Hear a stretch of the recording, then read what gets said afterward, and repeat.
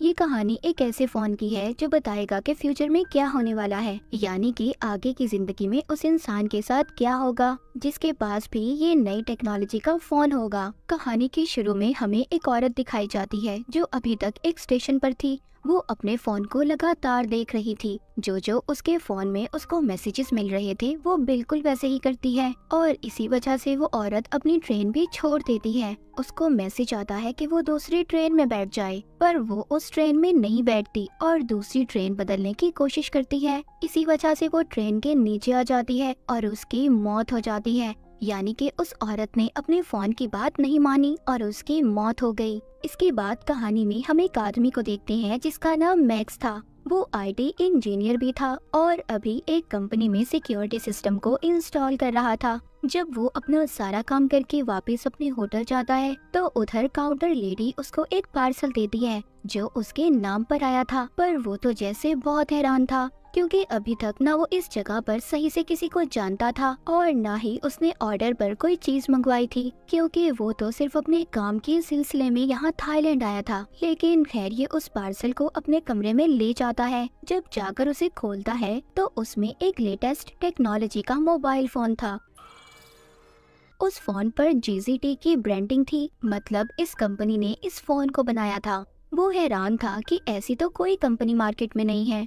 खैर, कुछ टाइम के बाद उसी मोबाइल फ़ोन पर मैसेज आता है कि उसे आज रात और इसी होटल में रुक जाना चाहिए। क्योंकि कल इस होटल में लोगों को खास किस्म का डिस्काउंट दिया जाएगा। मैक्स को ये आइडिया बहुत अच्छा लगता है, क्योंकि एक दिन और रुककर वो थाईलैंड घूमना चाहता था। इसीलिए वो एक और रात के लिए कमरा रहने के लिए ले लेता है और अगली सुबह की फ़्लाइट को भी वो कैंसिल कर देता है। जब मैक्स यहाँ पर रुककर घूम रहा था इंजॉय कर रहा था, तभी वो खबर सुनता है कि जिस प्लेन में वो जाने वाला था, वो आज के दिन क्रैश हो चुका था। उसका एक्सीडेंट हो गया था। मैक्स ये खबर सुनकर शुक्र करता है कि वो आज वापस नहीं गया और अपने आप को खुश नसीब भी मानता है। अब दोबारा से उसको फ़ोन पर मैसेज आता है कि अगर तुम अमीर होना चाहते हो तो तुम्हें एक स्टॉक को खरीदना होगा। पर वो इस बात पर ध्यान नहीं देता और उस मैसेज को डिलीट कर देता है। पर जब वो अपने कमरे में था तो वो टीवी पर खबर सुनता है जिस स्टॉक को खरीदने का मैसेज उसके पास आया था। उसकी कीमत बढ़ गई थी।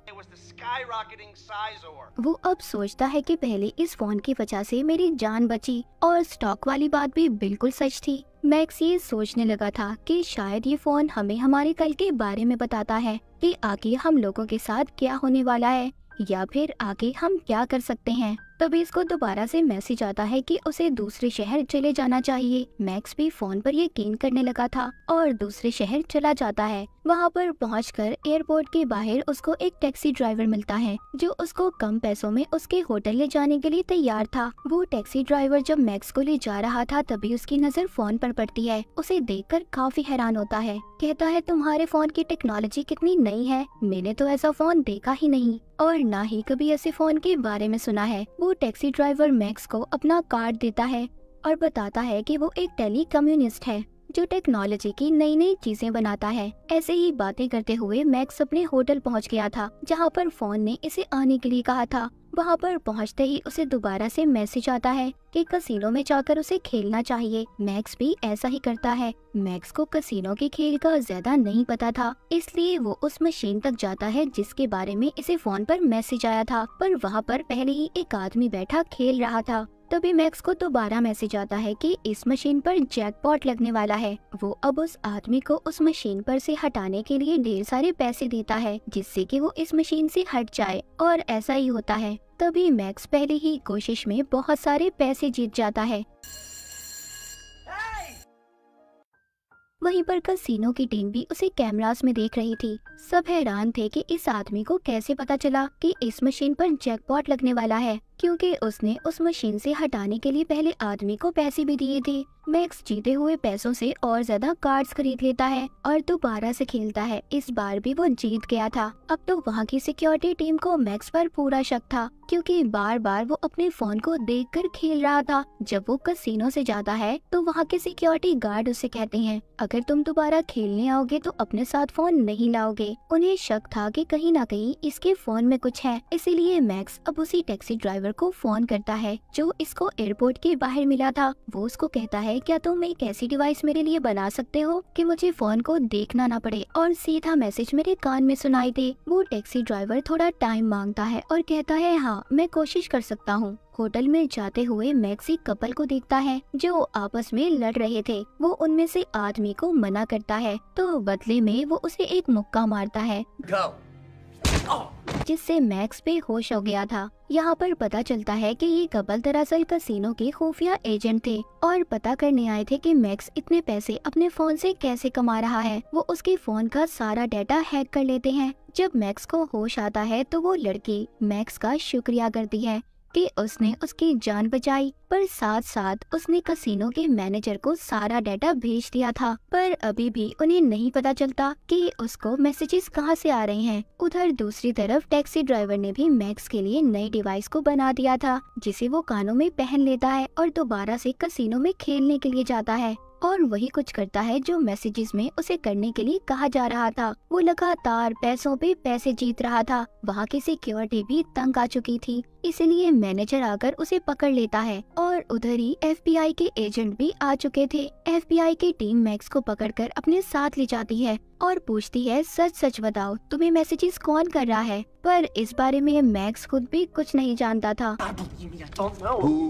एफबीआई ऑफिसर कसिनो के मैनेजर से मिलता है और उसे बताता है कि ये केस हमारे पास नया नहीं है। इससे पहले भी बहुत से ऐसे केस आ चुके हैं। बहुत से लोगों को ऐसे फ़ोन मिले, जिसमें उन्हें पैसे कमाने के तरीके बताए गए। पर जब भी हमने उन लोगों को पकड़कर पूछा कि तुम्हारे पास फ़ोन कहाँ से आए, और तभी कुछ वक्त के बाद उन लोगों की मौत हो गई, और हर बार की तरह हम इस बारे में कुछ भी नहीं जान पाते। अब ऑफिसर मैक्स के पास जाता है और उसे कहता है, देख तुम्हें हमारा साथ देना होगा और पता करना होगा कि फ़ोन कहाँ से आया है। ऑफिसर यहाँ पर अपने बॉस को भी फ़ोन पर बताता है कि अभी तक उन्हें कुछ भी नहीं पता चल सका। फ़ोन कहाँ से आया? पर हाँ मैक्स भी अब हमारी मदद करने के लिए तैयार है। वो मैक्स को दोबारा से कसिनो में भेजते हैं और कहते हैं कि इस मोबाइल के डाटा को हैक करने के लिए हमें कम से कम तीन मैसेजेस की ज़रूरत है। तभी दोबारा से मैक्स को मैसेजेस आना शुरू हो जाते हैं। इस बार भी वो उन्हीं मैसेजेस के कहने पर खेलना शुरू करता है। पर वो हार गया था। उसको एक मैसेज मिलता है, जिसमें लिखा था कि मैं जानता हूँ कोई मेरा डाटा हैक करने की कोशिश कर रहा है। उधर एफबीआई के एजेंट ने मोबाइल के डाटा को हैक कर लिया था। जब उनका बॉस ये सब देखता है तो सबको जाने का कहता है, जैसे वो इन सब चीज़ों के बारे में पहले ही जानता था। ऑफिसर अपने बॉस को फ़ोन करके बताता है कि इस फ़ोन का ज़रिया एचलॉन एक सुपर कंप्यूटर है। उसका बॉस तो पहले ही कंप्यूटर के बारे में जानता था। पर वो किसी को कुछ भी नहीं बताता, क्योंकि उसके बताने से वो खुद भी फंस सकता था। ऑफिसर बताता है जो कि आर्टिफिशियल इंटेलिजेंस से चलता है, जिसको सिक्योरिटी के लिए बनाया गया था। सब बातें सुनकर बॉस को ये लग रहा था कि उसको किसी ने हैक किया है। यहाँ पर बॉस एक दूसरे एजेंट को अपने साथ मिलने का कहता है, जो मैक्स की तरह ही दिखता था। उसको मैक्स का फ़ोन भी दिया गया था। तभी उसको मैसेज आता है कि रोड को क्रॉस करो। जैसे ही वो ऐसा करता है, उसको गाड़ी टक्कर मार देती है। उस बेचारे की वहीं पर मौत हो गई थी। असल मैक्स अभी भी ज़िंदा था और उसी लड़की के साथ था जो खुफिया एजेंट थी, जिसकी उसने जान बचाई थी। पर मैक्स ये बात नहीं जानता था कि वो लड़की एक खुफिया एजेंट है।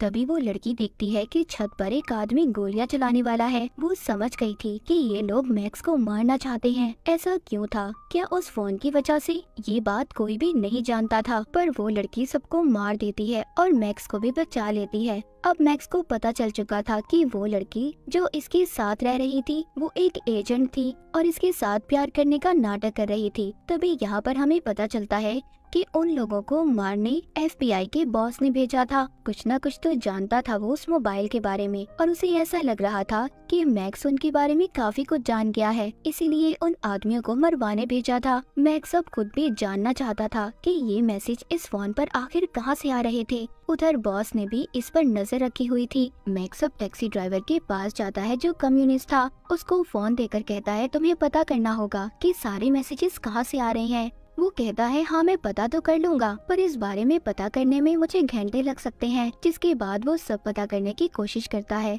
इस बार उसे सब पता चल चुका था। वो बताता है, ये सारे मैसेजेस एक सुपर कंप्यूटर कर रहा है, जिसको एशलॉन ए भी कहा जाता है, जो सब कुछ खुद से सोच सकता है।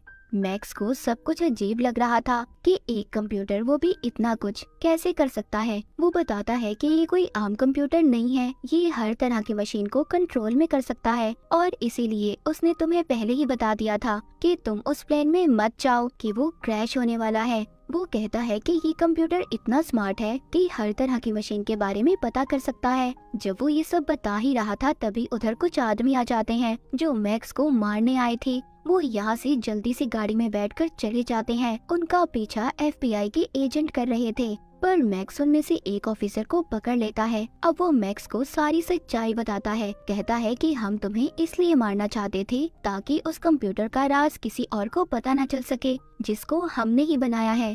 पर अब वो खुद से काम कर रहा है, जो खतरा बन सकता है। इसीलिए हम तुम्हें मारना चाहते थे। ताकि इस बारे में तुम किसी को कुछ ना बताओ। तभी मैक्स को मैसेज आता है। उसको उसी जगह पर जाने का कहा गया था, जहाँ पर मैक्स ने सबसे पहले सिक्योरिटी सिस्टम को इंस्टॉल किया था। वहाँ पर भी वो कंप्यूटर मैक्स को कैमरे की मदद से देख रहा था और उसको यहाँ पर मैसेज आता है कि यहाँ पर जितने भी कंप्यूटर है, सबको एशलॉन सुपर कंप्यूटर से कनेक्ट कर दो, जोड़ दो, जिससे वो कंप्यूटर अपडेट हो जाएगा। जिसके बाद दुनिया में जितनी भी बनाई गई मशीन है, सबके डेटा को कंट्रोल कर सकता है। मैक्स यहाँ पर देखता है कि सभी कंप्यूटर उस एशलॉन मशीन सुपर कंप्यूटर के कंट्रोल में थे। वो रोकने की कोशिश भी करता है पर नहीं कर पाता। हम देखते हैं, उधर एफबीआई का ऑफिसर अपने बॉस को बता रहा था।